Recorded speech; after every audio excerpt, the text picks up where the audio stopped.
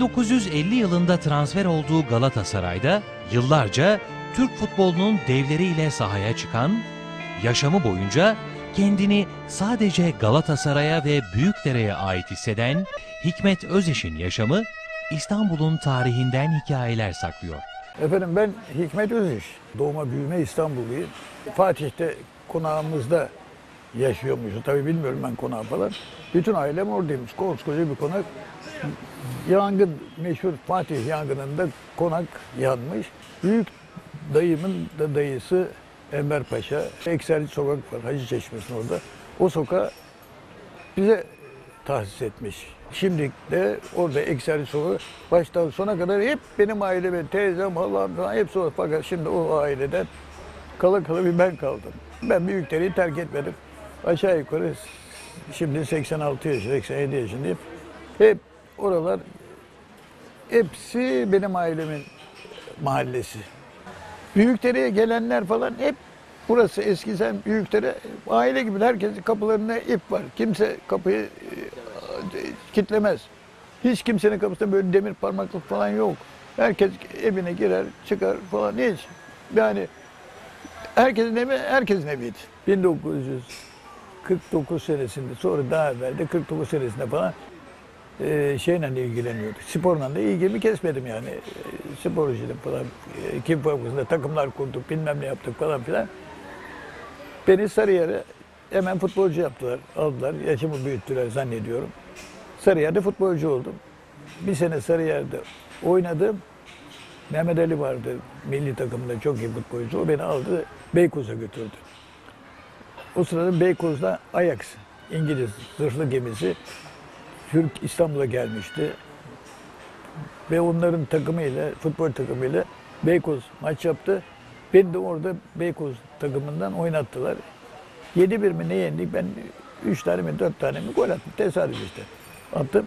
Ve hemen beni Beykoz'a aldılar. Beykoz'a futbolcu oldum. Beykoz'da da bir devre 6 maç, 8 maça oynadım oynadım bir sakatlık geçirdim. Beni bu sefer Galatasaray istedi. Geldiler bir Galatasaray Beykoz maçına. Beykoz düşecekti. Kazandık o maçı 2-1. Onun üzerine Beykoz birinci kümeye geçti. Ve soyunma odasında Gündüz abi geldi. Tanımıyorum o zaman tabii e, Gündüz abiyle konuşmuştum. Hikmet abi bakın sen e, giyin üstün başını elbisen dedi. Şeye gideceksin. Kulübe gidiyoruz. Beni aldı götürdü kulübe. O Ali Sami Bey'in elini öptüm ve Galatasaraylı oldum. Ondan sonra Galatasaray takımında 55'e kadar oynadım ve futbolu bıraktım. Askere gittim. Şu anılarımla ilgili büyükleri bir yazayım dedim. Bir not defterine onları yazmaya başladım yavaş yavaş yavaş yavaş. Kitabı bastık. Son iskele Büyükdere diye. Ve eski Büyükdereli arkadaşlarımdan çok büyük ilgi gördü. Eksik olmasınlar. Özellikle hanımlar, hanımlar müthiş sempat duydular kitaba. Hepsi kadın arkadaşlarım, hepsi zaten ben Türkiye'de politikada da kadınların eli at, elini attığı yer abad oluyor. Kadınları çekerseniz geriye biz erkekler bir iki şey yapıyor. Üçüncüsünde cıvıtıyorlar mı diyeyim artık. Ya hevesleri mi geçiyor, heyecanları mı kalmıyor? Fakat hanımlar bir şeyi tuttukları ve koparıyorlar. Şükrü Bey aday olup da seçime katıldığı vakit bütün ben Büyükler'deki, Sarıyer'deki, Kaza'daki bütün faal arkadaşlarım hepsini tanırım. Muhtarından e, en ufak birimine kadar.